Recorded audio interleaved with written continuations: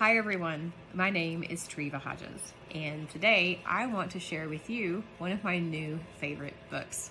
It's called A Vote for Susanna, and it's written by Karen Greenwald and illustrated by Sian James. This book tells the story of Susanna Salter, who in 1887 became the first woman mayor to serve in the United States. And although her story happened a very long time ago, I have something in common with Susanna. I am also the first woman to serve as mayor in my city, Charlestown, Indiana.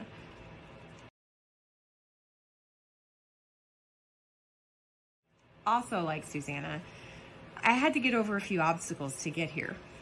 I experienced a little bit of bullying during the campaign, and people make comments regularly about things like my hair or what I wear, my shoes and talk about whether or not I'm a good mom or a good wife. Things that have nothing to do with me being a good mayor.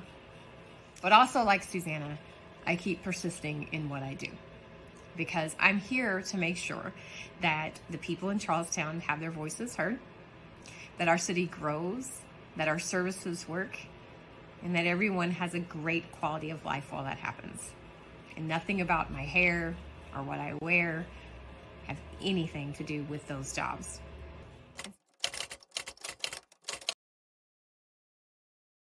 Hello, my name is Anne McEnerny Ogle, and I'm the mayor for the City of Vancouver, Washington. Thank you so very much for inviting me to share just a little bit about what it means to be a woman mayor. I was elected mayor in 2017, and when that happened, I became the first woman to be elected mayor of Vancouver.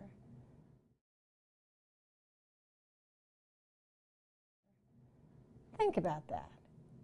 In the 160 years of my city's history, and 130 years since Susanna Salter was elected the first woman mayor in the United States, no woman had ever been elected mayor in Vancouver. Even today, people will tell me they're surprised we have a woman for a mayor. It was and continues to be a great honor to be elected by the residents of Vancouver to lead our city. And it's a wonderful responsibility to know that I can be a role model for young girls today who see just what they can accomplish. It's a responsibility I don't take lightly. I may have been the first woman elected mayor of Vancouver, but I know I will not be the only one.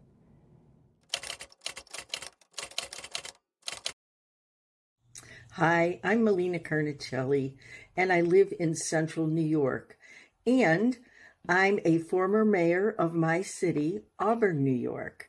I'm singing the praises today of Karen Greenwald's book, A Vote for Susanna, the first woman mayor, because like Susanna, I was the first woman to ever be mayor of my city here in Auburn.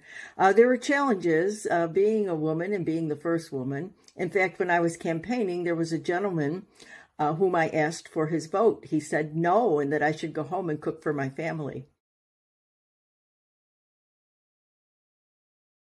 I did go on to win my race, uh, and that was uh, just about 22 years ago.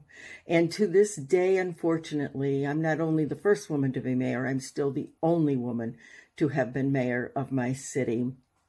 And it's my hope and expectation that those girls and women who read Karen's book, A Vote for Susanna, will consider being inspired and run for elected office themselves. So be inspired by Susanna's story shoot for the stars, and don't let bullying ever keep you from reaching your goals.